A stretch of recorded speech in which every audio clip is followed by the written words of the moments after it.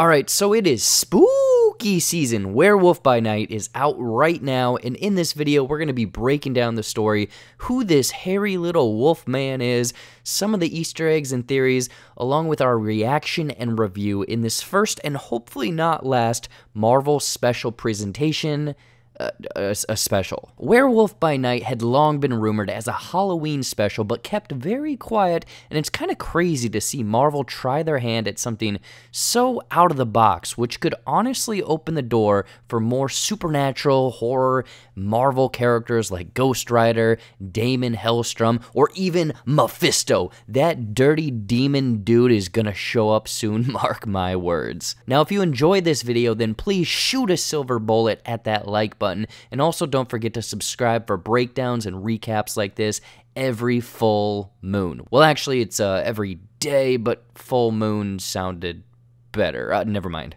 With that out of the way, a huge thank you for clicking this. Now let's get into Werewolf by Night.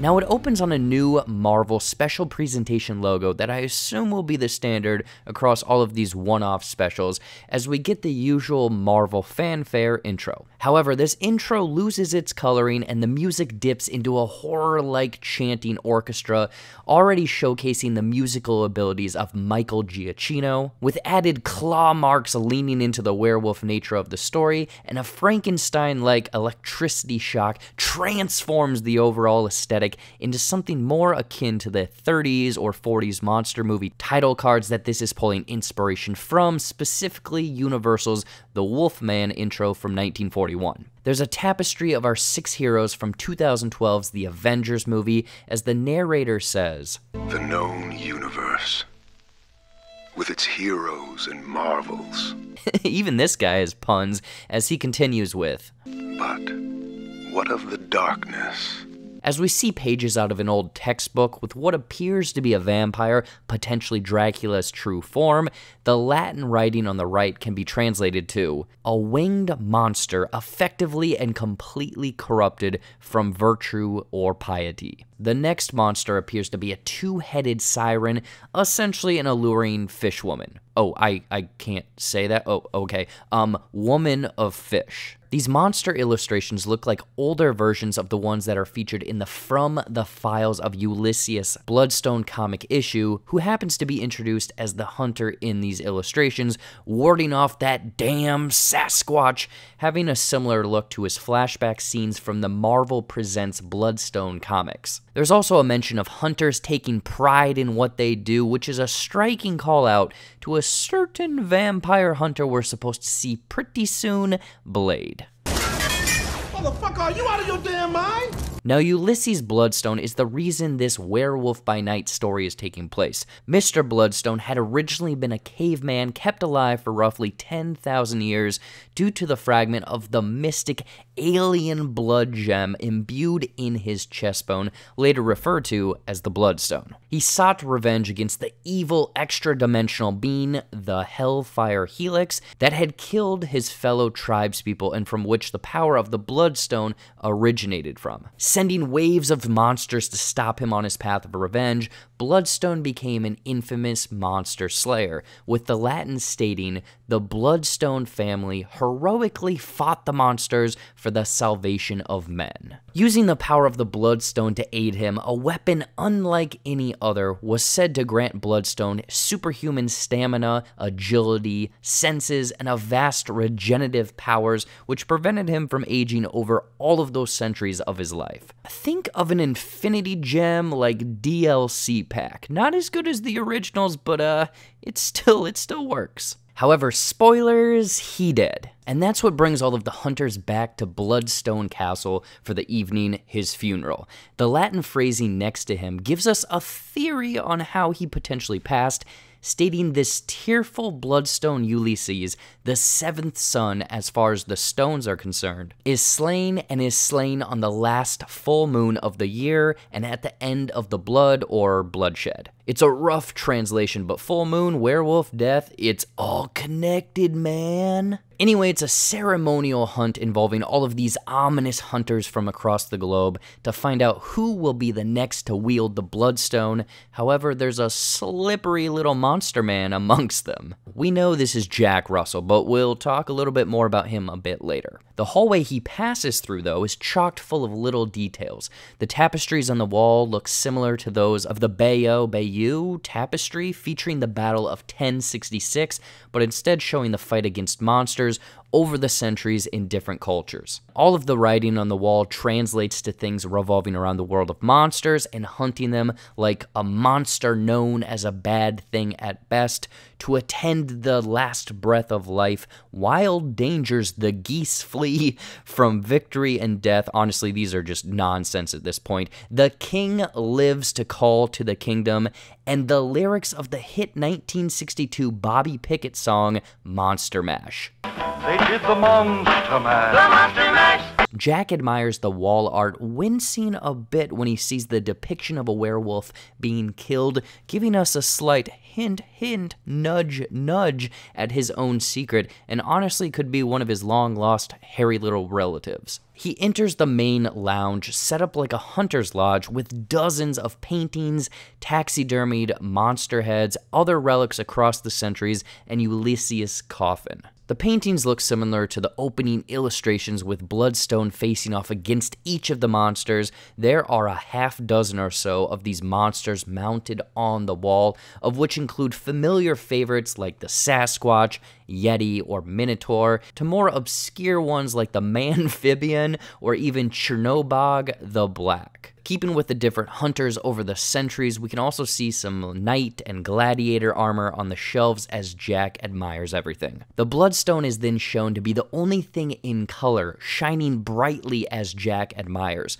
This is interesting because it's the only color that is breaking through that black and white aesthetic of the special, which I think is similar to Thor Love and Thunder and how powerful artifacts reacted in the Shadow Realm. Everything is devoid of color except the most powerful of items, which subtly shows us that the Bloodstone is nothing to mess with. Jack talks with the Weight Watchers version of Fat Bastard, revealing that it will be his 30th season and that the immunity, am, and anonymity, and anim, anonymity, seriously, these words, in their line of work is very important, which explains how Jack is able to crash this party. Jack mentions he's had a couple fights with the vampire looking creature on the wall, joking that he's never looked more alive. I assume that this is Dracula because he recognizes him, and in the comics, Werewolf by Night did have a couple run ins with Mr. Acula. It's a little nod, but also makes me think that this is set outside of the 616 universe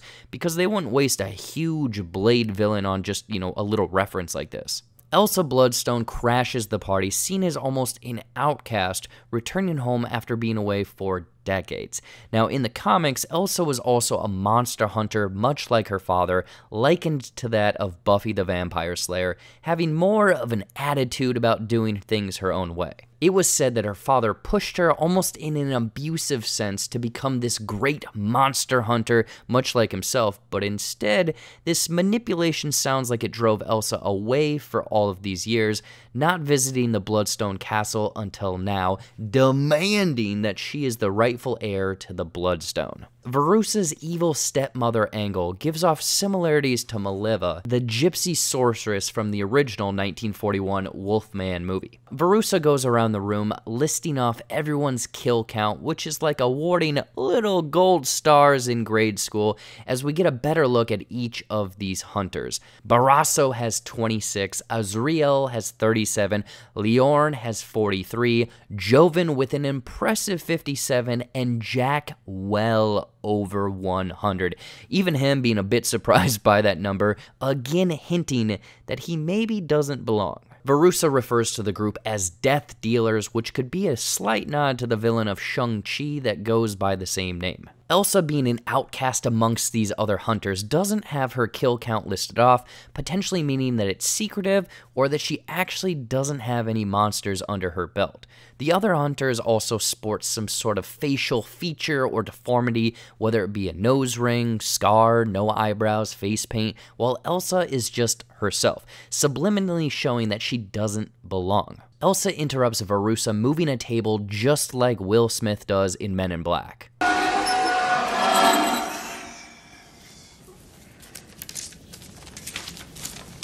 Wanna get down on this? Marvel likes their humor, as you can see a this end up disclaimer on the back of Ulysses' coffin, and in front of his coffin is a sword crossed with his iconic shotgun he favored in the comics. Billy Swan, who's this little dude just cranking away, is essentially the Igor character in all of the Frankenstein monster movies that's there to do, you know, essentially the busy work. In this case, crank that zombie boy! Ulysses is cranked out like some rundown Chuck E. Cheese animatronic and gives the hunters the mission of the evening. To me, Ulysses kind of looks like the zombie, aka Simon Garth from the comics, but I guess all zombies look the same to me. I, I, I didn't mean that. I'm, I'm not zombies. Please don't cancel me. But yeah, like an old haunted mansion animatronic, Ulysses states a powerful monster will be released in the sacred grounds, with the hunters having to Hunger Games it, slaying the monster, and whoever does will be the rightful bearer of the Bloodstone. But the catch is that the Bloodstone will be affixed to the hide of the monster, both weakening it, great, I love to hear that, while also making it very, very angry. Reinforcing the Hunger Games Battle Royale treatment, each of the hunters must sacrifice their bloodstone pendants to participate in the hunt, essentially drawing straws for the order of entering the sacred grounds. Jack receives the Saxon rune for Fey, meaning F or first, but also is the symbol for wealth or cattle, which can then be broken down further into prosperity, luck, or new beginnings, being quite a foreshadow at how uh, all of this turns out for him. Jack is the first to enter the maze, following a relative of the flaming guitar man from Mad Max Fury Road who had a love for the tuba. I guess art imitates life. The hunters recite a hunter's oath. For those who forge our blade. To rid this land of its abominations. a name drop. Who would have thought that Blonsky would be in She Hulk and Werewolf by Night at the same time? But nah, I couldn't find any reference to the actual oath that they speak, but it does feel similar to the speeches or prayers from Boondock Saints, like a promise before taking lives. Elsa comes across an old timey record player playing Vera Lynn's Wishing Will Make It So from 1939. Just imagine that you are back in childhood's day, wishing on the evening star. The lyrics are a clever bit of foreshadowing and backstory for Elsa, meaning she had wishes as a child, I'm guessing to be a great monster hunter like her father, but things went awry. Though she is older now, wish again, obviously being the rightful bearer of the Bloodstone, and who knows, it could happen now. Jack crosses paths with Elsa, and here we can kind of infer that both of these two are kind of unlike the other hunters, being more pacifist, avoiding confrontation, as Jack suggests they just kind of pass each other by. Joven swoops in like Gimli, trying to take them out, only to be taken out like a chump. Elsa steals his axe, and Joven curses death upon the hit 1994 movie Lassie. Death is coming for you, Lassie! Uh, what? What do you mean? He he's Scottish? Oh, huh. A nice attention to detail here are the two quick cigarette burns in the top right corner of the screen. This is a term used in filmmaking because they look like little burns caused by actual cigarettes, but they indicate that a change of reels is coming, in this case, a scene change. The more you know, you're welcome. Elsa crosses some corroded hand and footprints, so you know Quentin Tarantino isn't far away. Haha, foot humor. It's good for the soul. Anyway, giving us further hints at the man or potentially thing that is hunting them. As she passes the corridor, the light fixtures almost look like upside down crosses, which in pop culture has gained fame as a demonic symbol. Elsa's altercation with Liorn results in him giving her a hand and is hella brutal because he is squirting blood all over the place, which oddly enough reminded me of Addams Family Values, the talent show scene. It, it's just squirting everywhere. Through this fighting, we can see that Elsa has been trained, maybe not by her father, but she's proficient enough. I mean, it left Liorn speechless. Ha ha! Yeah, he, uh, well, he's dead. Jack is grabbed by the mystery monster we've heard so much about, which turns out to be Man Thing. Now, this monster is interesting because he's part man and, uh, well, well, part, part thing. Yeah. In the comics, Man Thing used to be Dr. Theodore Sallis, who was a biochemist working in the Everglades. He was basically attempting to recreate the super soldier serum. However, after AIM tried to steal his research, he injected himself with the serum, crashed his car into a magical swamp, and ended up turning into the slow moving swamp monster called Man Thing, possessing a variety of abilities. Now, MCU origin wise, this could be the same, we're not entirely sure, but there is a rumored Man Thing special in the works, so we may get some answers very soon. Another thing about Man Thing is that the magical swamp that he dwells in is a nexus to all realities, essentially a pathway to any and all realities. Think the Monsters Inc. door technology, but only one singular door, and Man Thing is basically the guardian of it. There was actually a reference to this and Nexus events in one of the WandaVision commercials featuring a pill called Nexus that could theoretically take you to any reality you wanted. So a subtle connection old Kev Dog may lean into later down the road. Jack is actually undercover on a rescue mission to rescue his old buddy man thing, working on an escape plan. He's locked into a crypt with Elsa, learning more about one another, along with a proper, finally, introduction from Jack Russell stating his family was a bit different. Aside from Jack's name being a pun of a dog, I mean, Jack Russell, Jack, Jack Russell Terrier, I, I can't be the only one. He is, well, he is a werewolf. Essentially, a descendant of Russell had been inflicted by a werewolf's curse centuries earlier when fighting Dracula. Hint, hint, back to the vampire. And this passed on generation to generation, making Russell the current werewolf by night. His origins are a bit messy, ranging from almost a teen wolf approach, with him finding out about his powers when he turned 18, to his ancestors having been involved in finding pages to the Darkhold.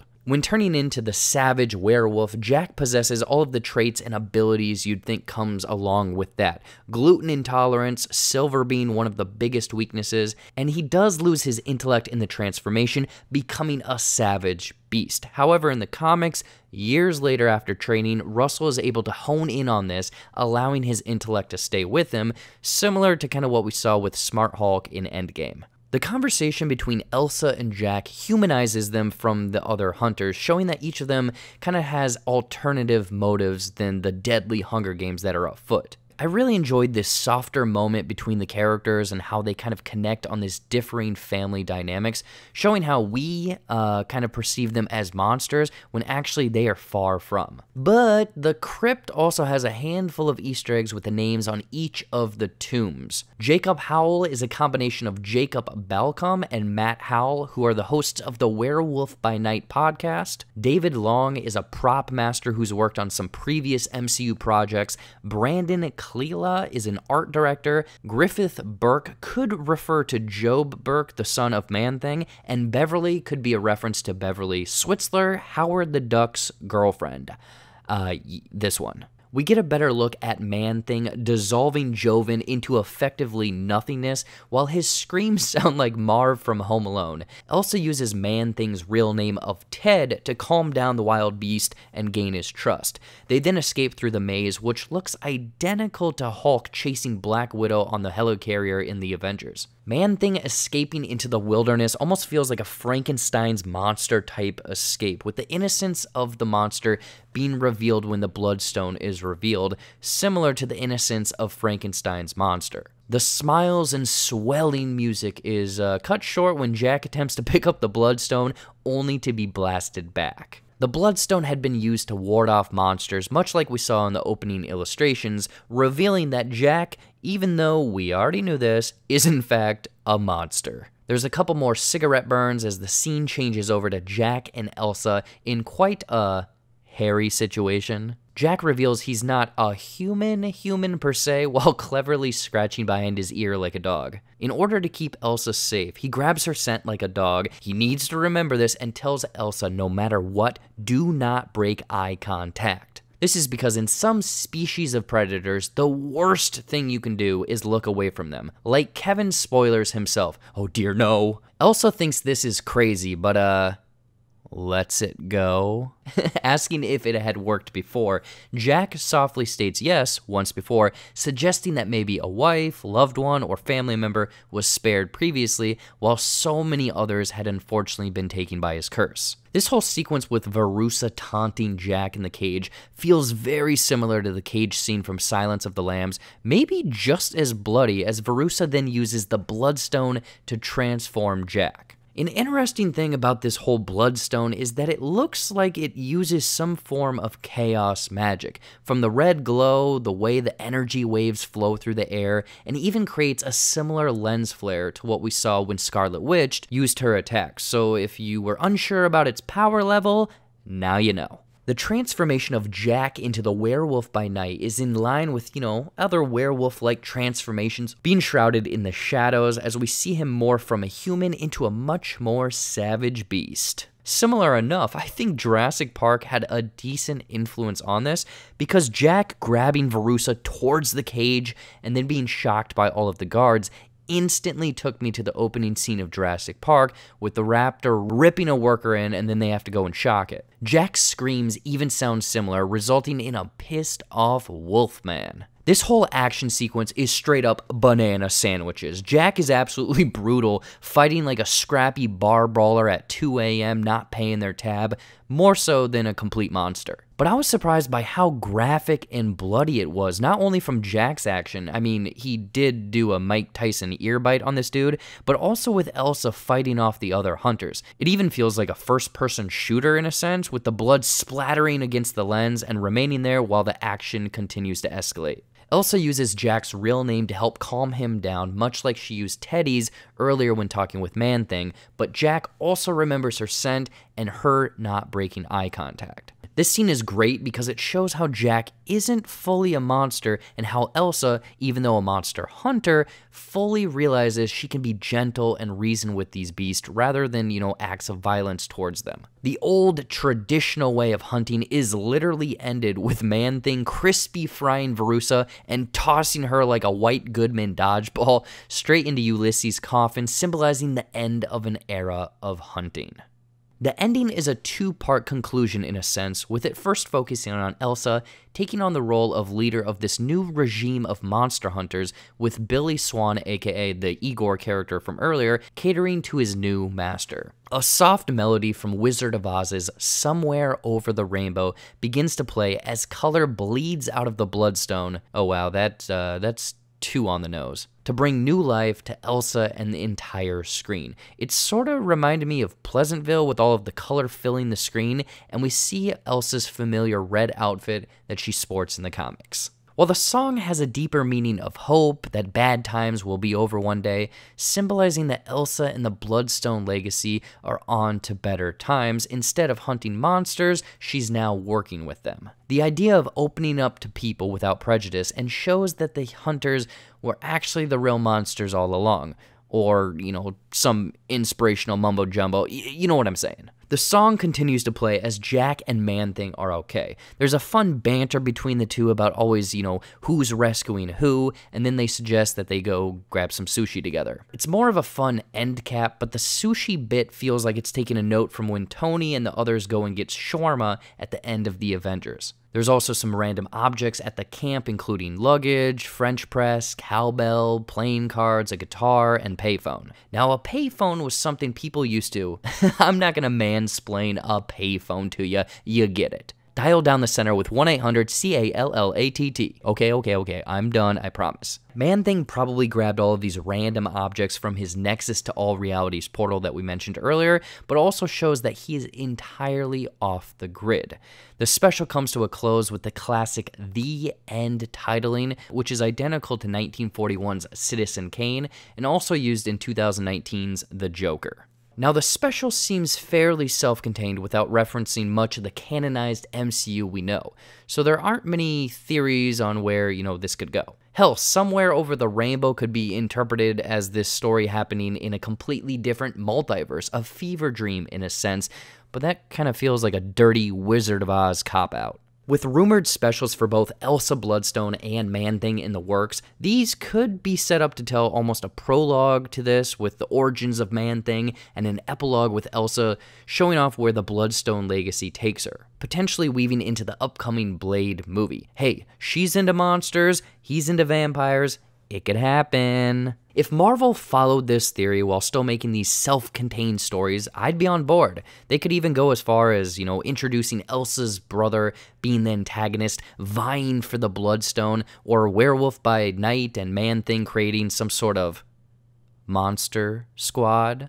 Overall, though, Werewolf by Night is probably my favorite project out of Phase 4 so far. With it adapting this like old school 40s monster movie aesthetic, it's grounded but weird, serious but fun, happy but violent. Like, the carnage was an interesting change of pace for Marvel. And honestly, this was one hell of a gamble out of the box experiment that I think warrants a couple more of these one off specials. This might be the way about going with things rather than making everything meticulously connected because it entirely works on its own. Sure, I was waiting for a post credit stinger of Mahershala Ali's Blade to walk in, but it wasn't needed. And you know who made all of this work so well together? His name was Mike. Fucking Mike. His musical score instantly set the mood, and the love for older monster movies can thoroughly be seen throughout this, even down to the fake cigarette burns in the corners. The biggest flea on this werewolf is that I wish that it was a feature length. You know, the 50 ish minute length does help to keep things tight,